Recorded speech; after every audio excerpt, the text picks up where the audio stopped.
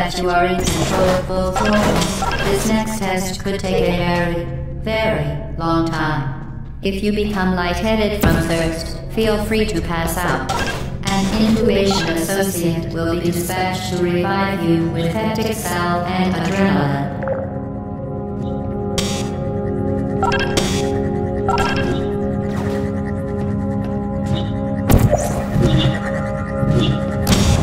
As part of a previously mentioned required test protocol, we can no longer lie to you. When the testing is over, you will be missed.